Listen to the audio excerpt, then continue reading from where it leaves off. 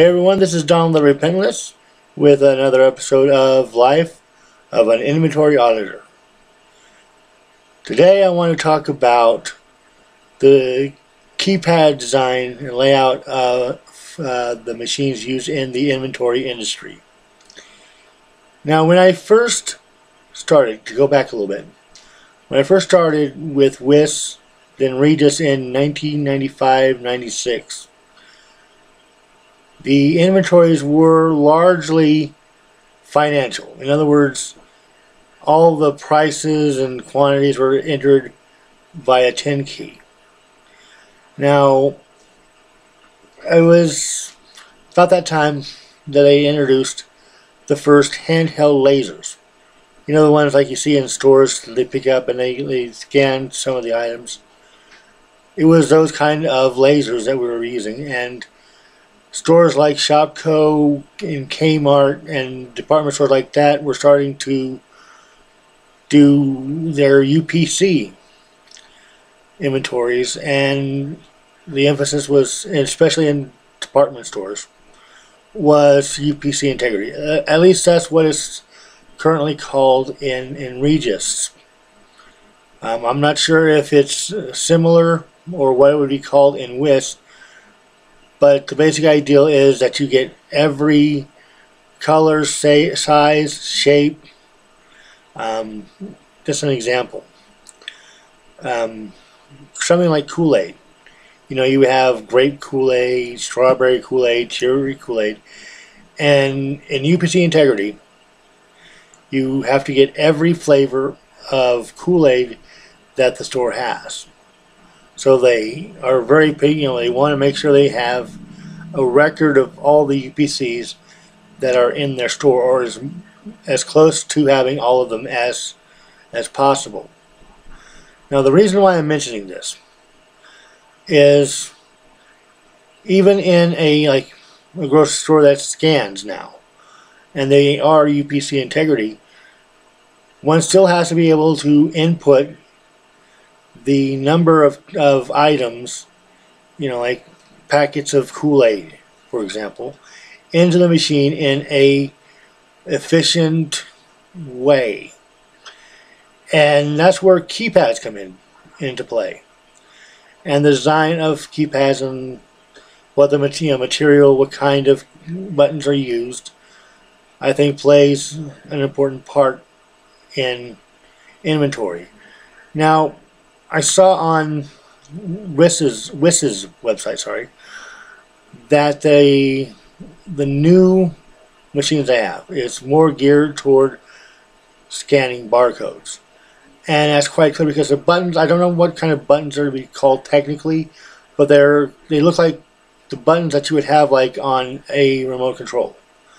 And they don't look as hard to press as some other types of buttons. But the way they designed it and the way it's designed to be held and done with one finger, kind of like you're texting on a phone, doesn't seem very efficient to me in terms of entering quantities. Now, with the RM1, the audit, RM1, RM, even the RM2, the keys that are on, the buttons that are on the actual devices are have more akin to to keys that are on your your computer keyboard than something from like a, a remote control. And those kind of buttons allow you to input numbers, data into the machine through the keys as quickly as, as you can press it. Um, I, am not sure if that would be the case with the wizards if that's what you know, wizards, the from the ones from WIS. Um, like I said, I've never used the wizard system, or have never seen one in person, even.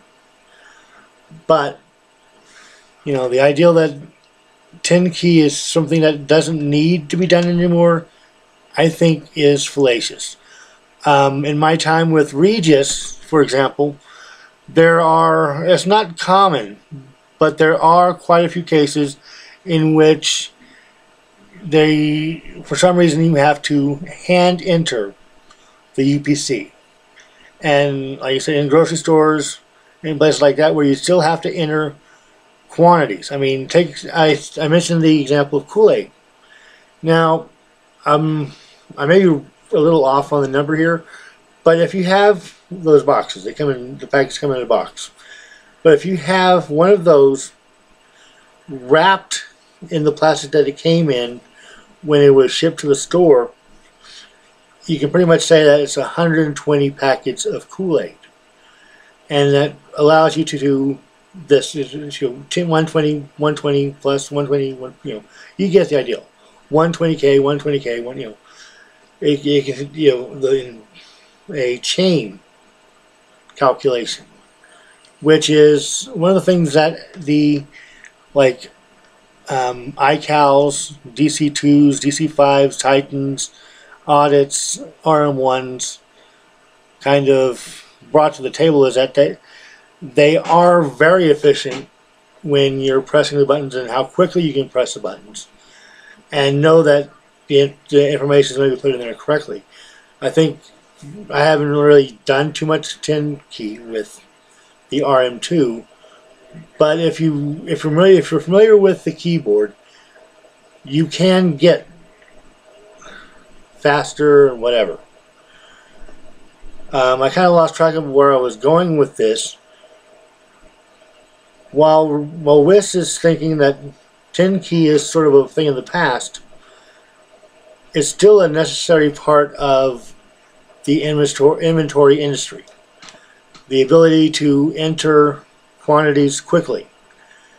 Um, another thing I noticed just looking at the pictures I've seen online, it doesn't seem that they might, and I just don't haven't seen them use that, that particular feature. But you know, I'm talking about videos I've seen on WIS site on the WIS site. It doesn't seem like there is a way to enter alphanumeric UPCs. Um, they're probably not common. But for example, the district here, or the area I'm in, does the um, Rexburg Motors. And there's always problems with their program, and all their barcodes that they use are alphanumeric. So last time I, I did it earlier this year with the with the team, but a lot of the barcodes wouldn't scan. And the only way to get enter them in to the machine was to hand key the UPC. It seems to me that that would be something that would be either monotonous or difficult to do with a device like the Wizard. Um, in terms of the laser, I have mentioned this before, the the new lasers with the RM2s, the built-in ones that are detachable with finger lasers, have a thing where it goes like the beam goes like this kind of. Okay, you have going across and going up and down, which I've heard might be so it would be compatible with the I don't know what they're technically called the square sort of barcodes that you see on beginning on products to you know get different codes or whatever. But those are going to become a little more um, popular usage and, and use in like retail settings. So having that ability to read those, this you know, in this early in the process, would give readers a sort of advantage. Uh, like I said, I got way off from where I was. I was talking about keypads, and I think I made all, made all the major points I wanted to make about keypads, their functionality, ease of use.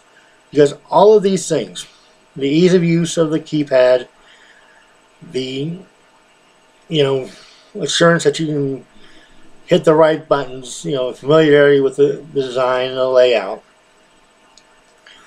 are things that are important to someone's ability to do well in counting inventory. Um,